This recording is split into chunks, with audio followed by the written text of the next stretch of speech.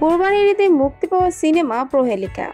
চয়নিকা চৌধুরী পরিচালিত রোম্যান্টিক গল্পের সিনেমাটি বেশ ভালো সাড়া পেয়েছে। এতে জুটি বেঁধে অভিনয় করেছে মাহফুজ আহমেদ ও বুবলি। সিনেমার গান, গল্প ও অভিনয়ে মুগ্ধতা ছড়িয়েছে সারা দেশে। করেছে ভালো ভেবসাও। এবার সিনেমাটি বিদেশেও মাতাচ্ছে। এরই মধ্যে অস্ট্রেলিয়া ছবিটি প্রদর্শিত হচ্ছে। সেখানে প্রহেলিকা দেখতে উপচে পড়ছে দর্শক।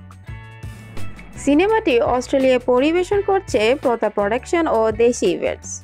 সংস্থাগুলোর সূত্রে জানা যায়, গত রবিবার পর্যন্ত অস্ট্রেলিয়া পহেলিকা ছবি পনেরোটি শো হয়েছে। সবগুলো শো ছিল হাউসফুল। সবগুলো শোই দর্শক অনেক সাড়া মিলেছে।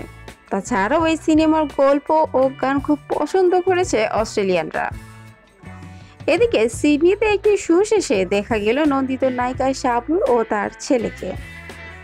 তাদের সঙ্গে শো দেখেছেন ছবির নায়ক মাহফুজ আহমেদও। শো শেষে এই দুই তারকাকে পেয়ে চমকেছেন দর্শকরা। তারা মাহফুজ আহমেদের অভিনয়ের প্রশংসা করেছে। সেলফিও তুলেছে মাহফুজ ও শাবনুরের সঙ্গে। এই সময় প্রহেলিকা দেখার অনুভূতি জানিয়ে শাবনুর বলেন, আমি ছবিটি দেখে খুব মজা পেয়েছি। ডিফারেন্ট একটি গল্প ছিল। চয়নিকা চৌধুরীর কাজ আগেও দেখেছি। তিনি ভালো নির্মাণ করেন।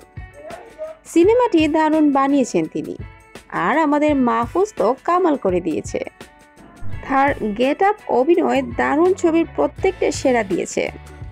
অনেক দর্শকও সিনেমাটি দেখে তাদের অনুভূতি জানিয়েছে।